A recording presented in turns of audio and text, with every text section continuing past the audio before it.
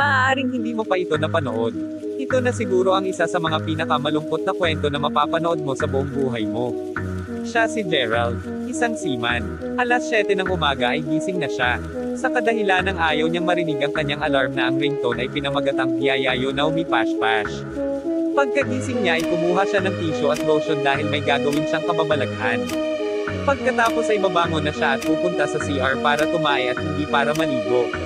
Dahil isang linggo na kasi siyang walang ligo. Ang biyahe kasi nila ay puro nasa malalamig na lugar. Si Gerald ay pumunta na sa crew mess para kumain. Pagkatapos niyang kumain ay uminom siya ng tubig. Ngayon ay bababa na siya ng hagdan pero bigla siyang nahulog sa hagdan dahil sa katangahan niyang mahalin ang isang tao na hindi naman siyang mahal. Hindi nasaktan si Gerald dahil sanay na siyang masaktan at manhid na siya. Nagtungo si Gerald sa dressing room upang magbihis ng coverall na isang buwan na walang laba-laba. Nabangoan si Gerald. Hindi sa sarili niya kundi sa katabi niya. Paglabas ni Gerald ay binigyan na siya agad ng job order ni Bosun. At ang job order niya ay magderesting. Pero gamit lang ang toothbrush. Nagsimula na magtrabaho si Gerald. At sa loob lamang ng apat na oras ay natapos niya din. Pagkatapos magderesting ni Gerald ay may panibagong job order na naman ang ibinigay sa kanya. Magpipintura daw siya, pero sa Balbos Bow. Pagkatapos niya magpintura ay may panibagong job order na naman ulit ang ibinigay sa kanya. Kinakailangan niyang ayusin ang mga basura sa garbage control room. Pero dapat naka-live siya sa Facebook at mag-online selling at sabihin ang salitang pamay na lang po.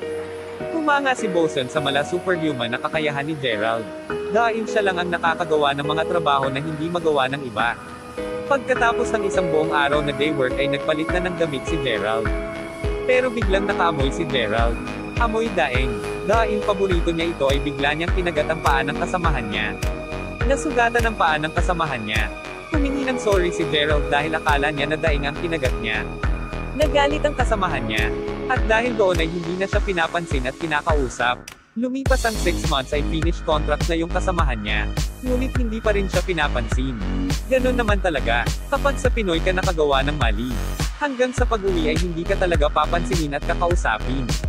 Pero kapag ibang lahi ang nagawan mo ng mali, 1 minute lang ay bati na kayo kaagad, mayroon ba kayong natutunan sa kwento ni Gerald? Kung meron, don't forget to like and share Mandaragat Vlog for more videos.